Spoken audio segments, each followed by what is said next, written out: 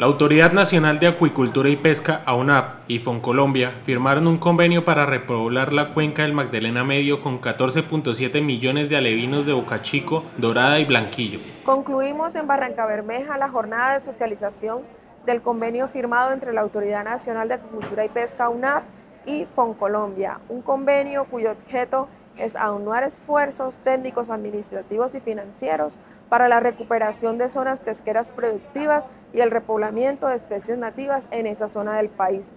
Beneficiará a 44 asociaciones, en total 444 pescadores, pescadoras de esa región del país. El proyecto beneficiará a 44 asociaciones de pesca artesanales y busca mejorar la productividad pesquera de 14 ciénagas. Como gobierno del cambio, como gobierno de la gente, le estamos cumpliendo a la comunidad.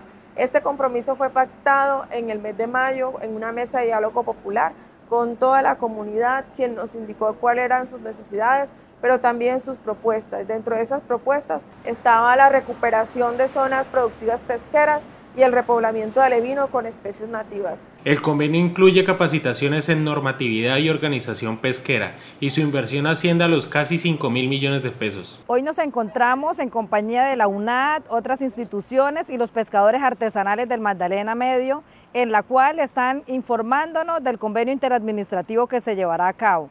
Este convenio es muy importante para fortalecer las organizaciones de pescadores y estos beneficiarios que van a estar directamente. Vamos a contar con capacitación, pero al mismo tiempo también se van a realizar otras labores como repoblamiento, como recuperación en la fuente hídrica y esto contribuye para nosotros poder tener aguas en óptimas condiciones para realizar nuestra faena de pesca. Esta iniciativa cumple los acuerdos de la Mesa de Diálogo Popular mejorando la economía local y la seguridad alimentaria en la región.